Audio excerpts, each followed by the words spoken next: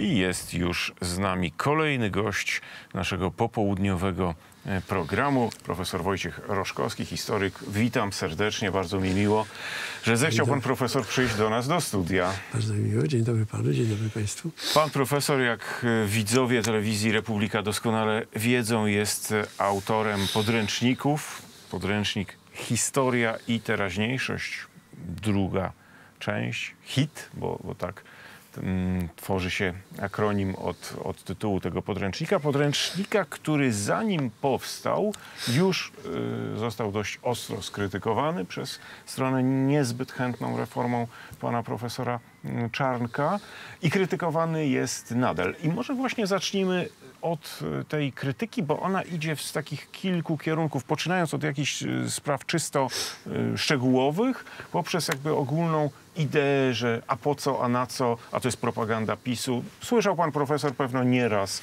tą krytykę. Dniami i nocami można powiedzieć. Ja myślę, że zaczęło się od tego, od dwóch rzeczy. Po pierwsze, że hit i po drugie, że minister Czarnek. Historia i teraźniejszość jest pomysłem na wymuszenie, może to nieładne słowo, ale na wprowadzeniu do programu szkolnego historii najnowszej, której praktycznie nie uczono. Oczywiście y, poprzednie podręczniki historii niby dochodziły do czasów trzeciej RP, ale y, nigdy nie starczało czasu, nauczyciele woleli omijać tych, te, te tematy, gdzieś tam na II wojnie światowej kończyli, a potem już nie starczało czasu. I y, ten przedmiot, historia i teraźniejszość jest czymś dodatkowym, który ma wypełnić tę lukę. I to, wydaje mi się, i, i teraz pytanie, dlaczego to tak bardzo nie podoba się opozycji, a względnie podobało się rządzącym? Yy, można by zapytać, dlaczego podobało się rządzącym, ale to, że nie podobało się opozycji, wydaje mi się jasne. To znaczy, w kręgach opozycji, szeroko rozumianej, politycznej, kulturowej, i, i, i, i mm, artystycznej, nie wiem jak to nazwać, y, jest jakaś wbita w tył głowy niechęć do przypominania niedawnej historii. Ja kiedyś to nazwałem, że to jest tak niedawno, że mało kto pamięta. I dobrze, bo lepiej nie pamiętać, co kto mówił 5 lat temu, 10 lat temu, a już 40 lat temu, w młodości, to lepiej w ogóle wymazać to z pamięci, bo to by trzeba jednak wytłumaczyć, ocenić, a lepiej w ogóle, żeby młodzież o tym nie wiedziała. I wydaje mi się, że sam pomysł do wprowadzenia tego rodzaju przedmiotu y, był pierwotną przyczyną całej tej burzy o podręcznik. Bo ja napisałem podręcznik do historii i teraźniejszości, taki jak w gruncie rzeczy należałoby napisać moim zdaniem i on jest oparty na tym, co ja dotąd wpisywałem. Dla mnie było wręcz szokiem, jak y, porównywano Andrzeja Lorberta, czyli tego autora w mojej osobie pod pseudonimem w stanie wojennym, z tym, y, co tutaj jest. Otóż y, ja się nie zmieniłem. To otoczenie się zmieniło. I nagle się okazało, że mnie nawet odsyłano pocztą tamtę książkę. Yy, chyba no, tam nie były kartki, nie trzeba, kartek nie trzeba było przecinać, ale podejrzewam, że tamte były nieprzecięte, gdyby były do przecięcia, mm, z oburzeniem, y, co się z tym człowiekiem stało. Otóż z tym człowiekiem się nic nie stało. On mówi to samo. To znaczy, ja uważam, że nauczanie historii najnowszej jest niezwykle ważnym elementem wychowania obywatelskiego. I tutaj kręcenie, kłamanie, odkręcanie, relatywizowanie y, jest szkodliwe. Oczywiście zbyt pochopne oceny, tak jak zresztą czasami w takich y, tandetnych różnych mediach się pojawiają, y, nie jest y, wychowawcze. Bo jednak i stan wojenny, i zachowanie ludzi y, dawnej, y, dawnego systemu, to trzeba umieć y, w sposób wyrafinowany ocenić. Bo nie wszyscy byli, już nie będę tu nazwisk wymieniał, ale płatnymi agentami Moskwy, którzy mordowali Polaków, a poputczykami czy ludźmi, którzy dla kariery zapisywali się do PZPR i czasami nawet dobre rzeczy robili za tę cenę. Ale system był totalitarny, wasalny i nie będziemy, nie powinniśmy młodzież y, y, przekonywać, że on był y, Polską jednak w większym stopniu niż ona była wtedy. Pan profesor sięga tutaj do czasów stanu wojennego, czyli mm, przeszłości. Już dla wielu widzów naszej telewizji odległej, sięgającej dalej niż ich y, data urodzenia, a ja sięgnąłbym trochę bliżej, mianowicie do czasów, kiedy rodziła się Platforma Obywatelska, jej program polityczny, jej głoszone wtedy y, poglądy. Jeśli porównamy sobie z dzisiejszą Platformą, są to zupełnie inne partie. I to jest potwierdzenie tego, co powiedziałem, że ta naj, najbardziej niedawna przeszłość e, boli część opozycji, bo ona, gdyby zestawić, tak jak pan powiedział, zestawić tę deklarację krakowską Platformy, y, tam z początku wieku, z tym, co dzisiaj się wyprawia w Platformie, ja, ja powiem wprost, co się tam wyprawia. No tak należałoby to nazwać. No bo to nie jest ani program, ani normalna polityka, to jest jakaś niekończąca się jedna awantura. I ludzie skąd inąd niby poważni, jakieś autorytety, nawet naukowe, publiczne, udają, że się nic nie dzieje. Że, e, krótko mówiąc, e, tam nie ma żadnej myśli jasno sformułowanej o naszym wspólnym życiu, o naszych interesach jako Polaków, tylko tam jest jeden niekończący się wygłup, niekończące się zaklinanie przeszłości, odkręcanie. E, można powiedzieć, ile razy myśmy słyszeli z, z ósmego premiera i jego zwolenników, że nic takiego nie powiedzieli, podczas gdy za, można nadać y, ich przemówienie sprzed 5-10 lat, kiedy dokładnie to mówią. A oni się zaklinają, że nie mówili. Więc ja nie wiem, jak to nazwać, ale to jest kampania jakaś surrealistyczna, jakaś no, kompletnie oderwana od rzeczywistości. Mało tego wskazująca, że można tą przeszłością manipulować do, dowolnie, bo nikt nie pamięta. Otóż z, z tego podręcznika młodzież może się dowiedzieć, że to jednak jakoś inaczej trochę było. I tutaj jest, że tak powiem, przyczyna y, części tych ataków. Panie profesorze, pan mówi o taki, y, takim mechanizmie wypierania czy, czy publicznego zaklinania y, rzeczywistości, zakłamywania jej, mm -hmm, ale mm -hmm. ja dostrzegam też w wypowiedziach części publicystów związanych no właśnie z Platformą Obywatelską, Koalicją Obywatelską i części polityków tej formacji, tej formacji bardzo się rozszerzającej teraz o lewicę, dawnych PZPR-owców i tak dalej, y, inną trochę próbę... No i prawicę narodową w tak, postaci pana, Giertych. Tak, tak. Y, widzę też inną trochę próbę. Ona się może tak bardzo nie przebija do głównych wypowiedzi, ale da się to dostrzec. Mm, wypowiedź y, czy, czy, czy próba wyjaśnienia tego, tej awantury, jak pan profesor nazwał, inaczej. No cóż, wtedy byliśmy tacy, bo potrzeba chwili była taka, ale zachodzą zmiany cywilizacyjne, Polska się westernizuje w błyskawicznym tempie, no i cóż, my musimy być tacy, jakie, jakie czasy, jakie, jaka jest potrzeba chwili. Bardzo Byliśmy dobry... przeciwko aborcji, teraz jesteśmy za aborcją i nawet łamiemy kręgosłup Giertychowi, a to nie jest tak. łatwe, bo to bardzo wysoki człowiek jest. Tak.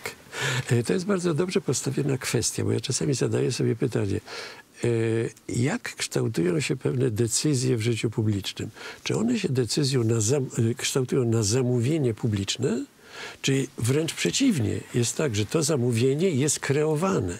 No, to wiemy z y, handlu z współczesnego, że gusta konsumentów są przedmiotem, można powiedzieć, chyba w, to w znakomitej większości obróbki, na, y, mówiąc, y, sprzedawców lub nadawców to producent kreuje potrzeby, gusta i moim zdaniem w polityce zaczyna się dziać dokładnie, no może nie zaczyna, to się dzieje Dzieje, już od dłuższego tak. czasu, właśnie w ten sam sposób.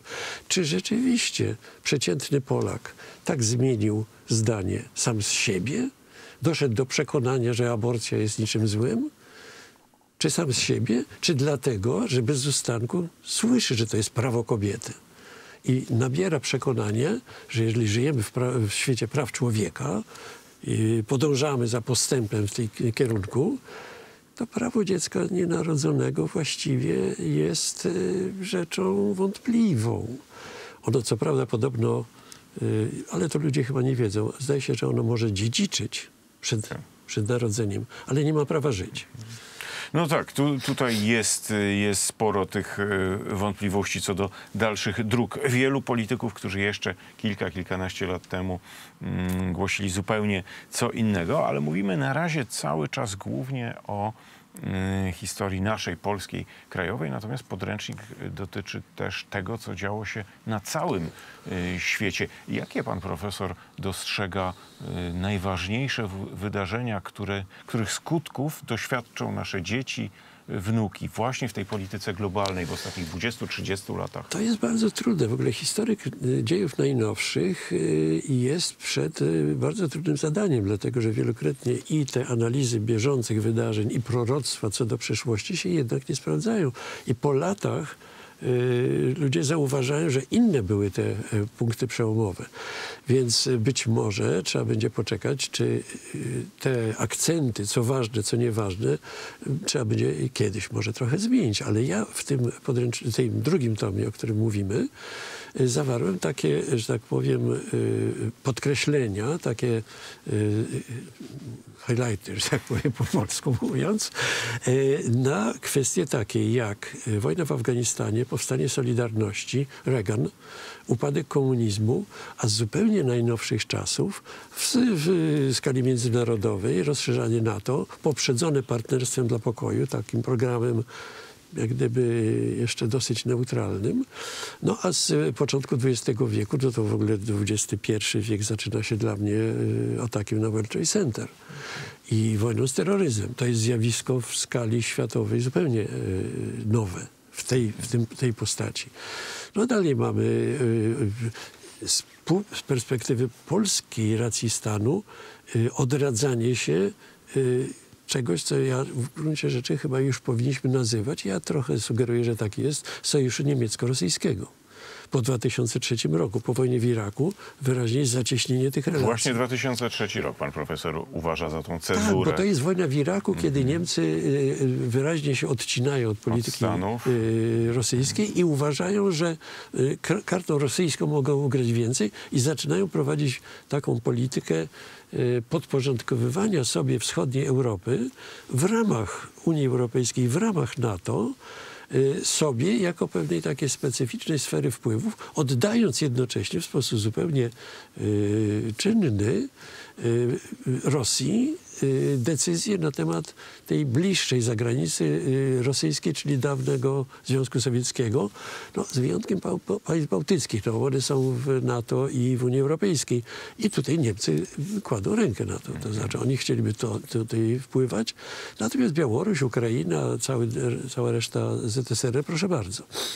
A kwestie przemian właśnie światopoglądowych, No i cywilizacyjnych, przebieraniec- religijnych, Tak, tak, tak. one są to szalenie ważne dla świata. Ja to akcentuję bardzo mocno, co mi zresztą bardzo zarzucano, ale ja uważam, że młodzież licealna powinna wiedzieć, w jakim świecie żyje, żeby czasami e, spojrzeć na okoliczności, w której dorastają, troszeczkę z zewnątrz. Właśnie, żeby ktoś, nawet starszy, powiedział im, wiecie, no, różne zmiany cywilizacyjne miały miejsce, różne młode pokolenia wyrastały w pewnych warunkach, ale wy wyrastacie w bardzo specyficznych warunkach, kiedy naprawdę jesteśmy wszyscy manipulowali y, na skalę dotąd niespotykaną. Niewyobrażalną, tak. I e, w tej manipulacji dotykane są najbardziej wrażliwe elementy tożsamości człowieka i społeczeństwa. A więc płciowość i miejsce człowieka w społeczeństwie. E, Trzeba młodzieży jednak mówić, kochani, e, jesteście, atom, jesteście wpychani w atomizację. Bo oglądając te wasze telefony, w metrze ja widzę, większość młodzieży patrzy w telefon. Oczywiście y, w tym telefonie różne rzeczy może widzicie, ale zdajcie sobie sprawę, że w ten sposób jesteście odrywani w sposób zupełnie mechaniczny od wspólnoty. A wspólnota jest ważna i to jest element tej wiedzy o społeczeństwie. Ja gdzieś tam bardzo mocno akcentuję, człowiek nie jest samotną wyspą. Wszyscy od siebie zależymy. A młodzież nie zauważa, skąd się wzięły na świecie, kto ją wykarmił, kto ją wychował i tak dalej, i tak No, dalej. starali się rewolucjoniści już wcześniej antagonizować pokolenia, przeciwstawiać młodych No i oderwać starszym. młode pokolenie od wychowania rodzinnego i powierzyć je państwu. To jest pomysł na przyszłe społeczeństwo zatomizowane w wielu krajach zachodnich, notabene, w Skandynawii na przykład. Y, No ale znowu można powiedzieć, że tutaj jakiś konserwatyzm przeze mnie przebija.